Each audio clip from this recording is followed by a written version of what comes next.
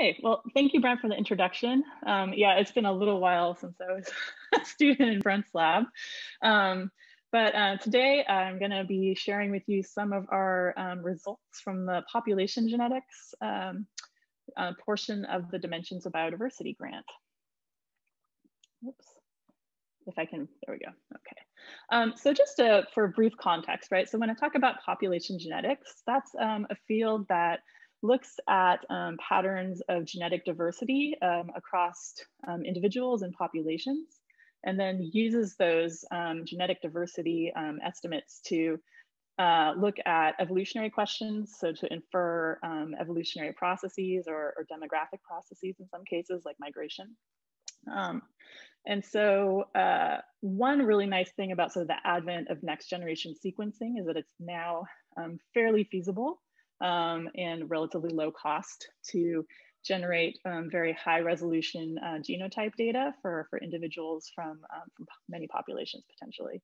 Um, and so with those data, you can both look at um, sort of evolutionary processes, as well as answer sort of basic descriptive things like how, how diverse the particular population is genetically compared to another one, um, or how clonal it is. Um, and I'll be talking a little later as well, um, these data can also be used to extract um, sex ratios um, from organisms that are otherwise tricky to, to determine the sex of. All right, so um, the, uh, the term population, I think, tends to be a little bit subjective depending on the organism you're working on, sort of what um, what you're going to sort of circumscribe as a population. Um, in, the, in the results I'll share with you today, um, when I refer to a population, I'll be talking about one of these sites that I'm gonna show you. So this is my former, um, my former grad student, um, Ugbed Farah, who's now at UC San Diego doing her PhD there. Um, and so she's collecting actually in that same um, Sheep Mountains gradient that, that Kirsten showed you in her presentation. So this is the lowest, driest site here. You can see that little blob there. Um, this is my thing. Can you guys see my cursor? I don't know, but if you can, that pink thing there is my finger. Yes. so for scale. So the, the Canna at this site is extremely tiny. Oops, here we go. Sorry, I need to learn how to forward my slides. There we go. Um, and so this is sort of the, the mid elevation site in a sort of a uh, Joshua tree woodland. You can see it's getting a little more mesic. Um, and then this is the high elevation site, that Pinyon Juniper Woodland. Um, and we actually had a rain event. It was the first rain event of the season, actually, um, the night we were there. so that's why all the moss is like hydrated. It was very hard to identify them actually in that state because I'm not used to seeing them wet. Um, we did a similar uh, similar collection at three um, different sort of elevation sites in the Colorado Plateau, um, and thanks to the Matt Bowker Lab for helping us out with these collections. So this is uh, the low elevation site again.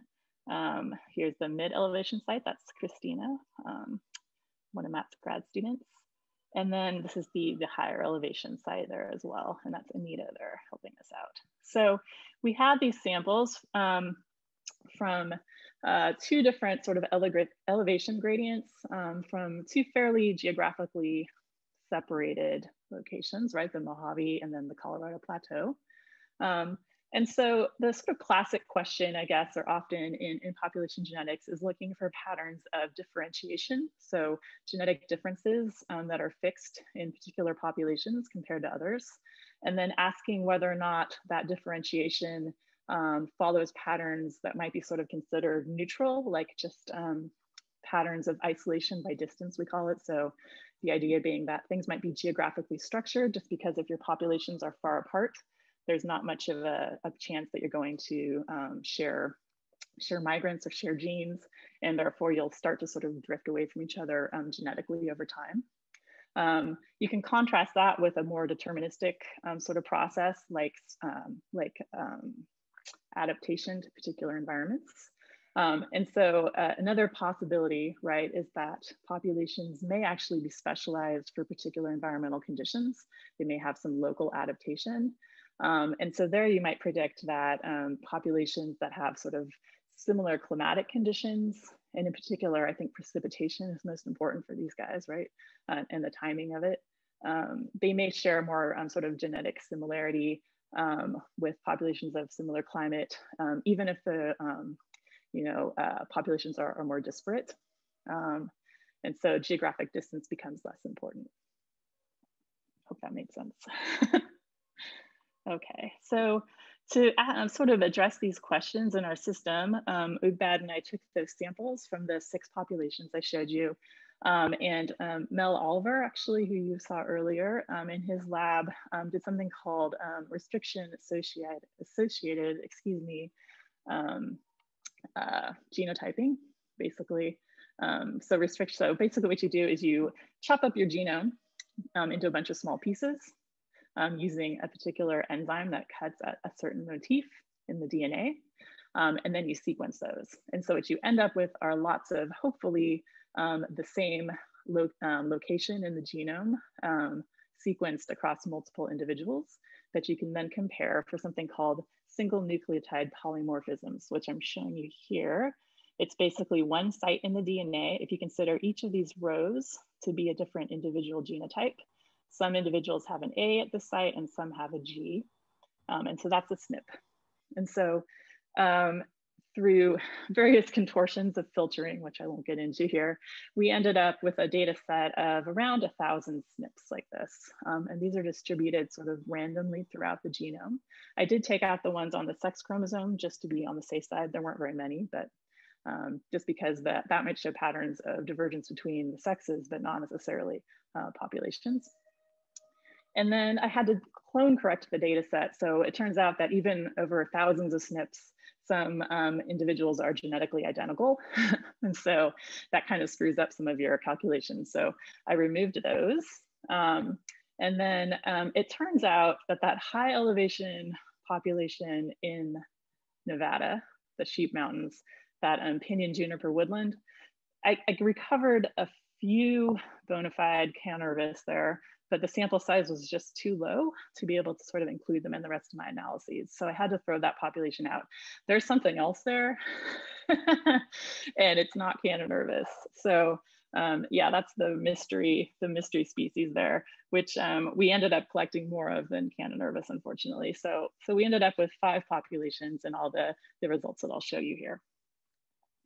Um, so if we look at isolation by distance um, versus that sort of um, isolation or differentiation with, with climate that I mentioned.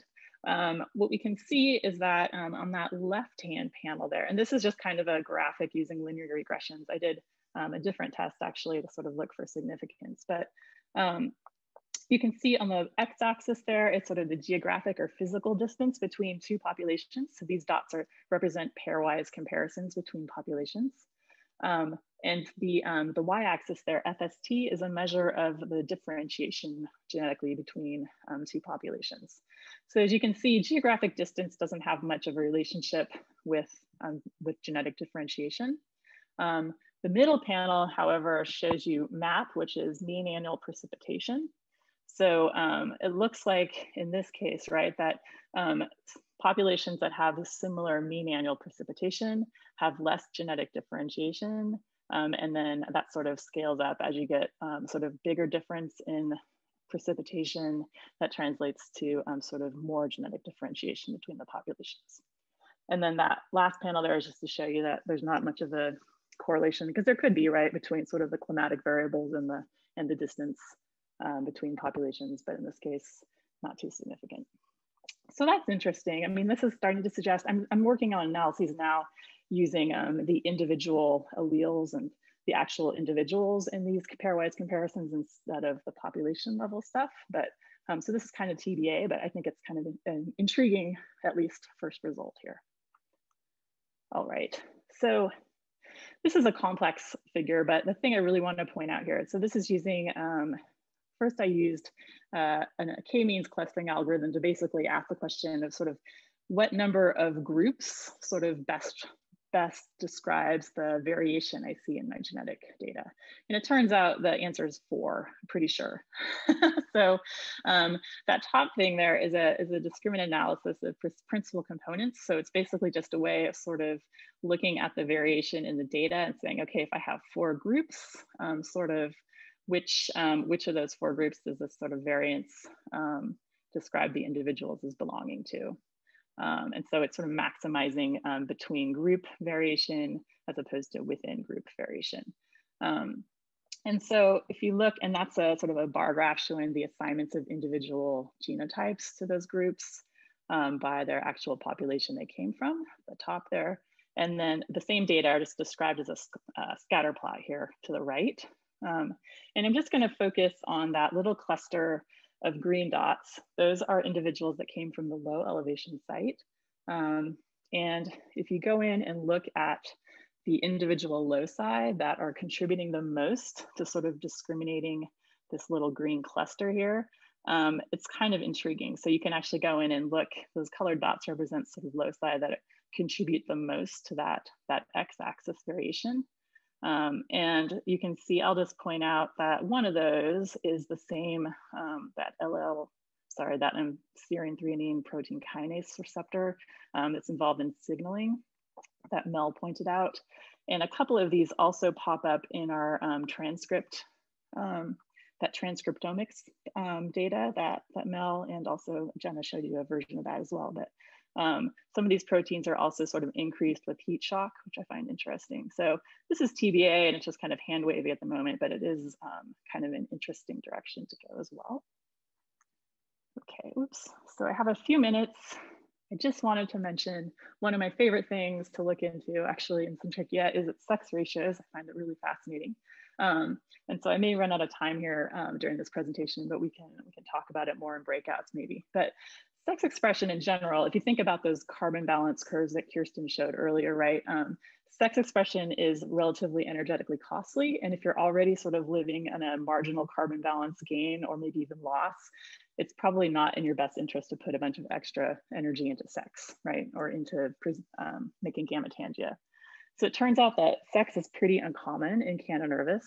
Um, and when we do um, observe sex expression, it's usually in more um, mesic or more sort of permissive habitats. And um, it's usually female. Um, it's pretty rare to find the male um, sex organs on, on plants from the field. Um, and when we do find males, they tend to be observed in more um, shaded and again, more moist kind of like microsites. and just as a quick review here, the sporophyte in the middle is diploid and it has both the U and the V sex chromosomes. Um, and so when you make spores from the sporophyte, you should get either U, right, this haploid female, or V, which is that haploid male. We use U and V just to kind of differentiate from the X and Y in, in diploid organisms, right, that express sex in the diploid state because in mosses, the diploid is, is unsexed.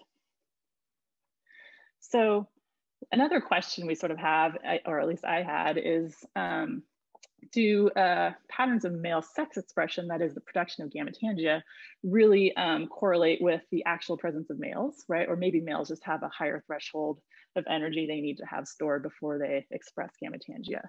Um, and also sort of on, along the same lines, right? Do we see um, male sex expression at the micro scale? In other words, we really see males expressing sex in shady sites. Does that sort of scale up to the actual population sex ratios? In other words, are there more males present in sites that are, are more mesic and less stressful, um, which you might predict? Sorry, that was the prediction. I was gonna make you make the prediction, but I'm almost out of time, so never mind. Um, okay, so uh, sort of given the given the uh, sort of general macro habitats um, sort of gestalt, I guess, if you will, that I showed you in those early slides, where you might predict that I picked up the most male or female genotypes? Well, I'll let you think about that. Would it be in the super hot, dry areas or would it be in the higher elevations? Would you find more males there where it's a little cooler and wetter? I, I suspected that we would find them in the cooler, wetter sites um, in general, but these are the actual results. Um, and as you can see, I found the most males actually at that very low elevation site in the sheep range, um, the hottest, driest location. and then they sort of attenuate as you, as you go higher in elevation. Um, and so we can discuss the, um, the potential reasons for this, um, maybe later in the breakout rooms, we can think about it.